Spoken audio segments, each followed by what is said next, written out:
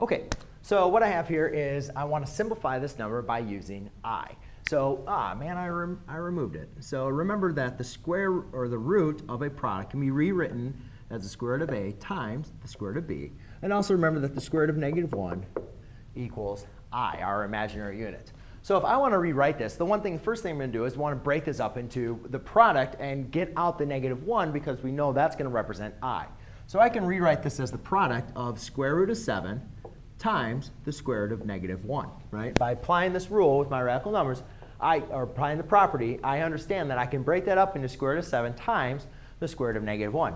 Now, I'm going to want to simplify each of these numbers individually. Now, the square root of 7 is an imaginary number. It's 2.6457513 dot, dot, dot, dot, dot. It's going to go on and on and on forever, so I can't simplify this.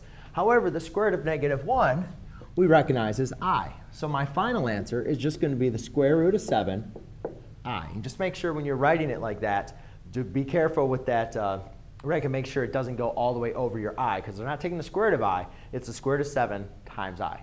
So there you go, ladies and gentlemen. That's how you simplify with i. Thanks.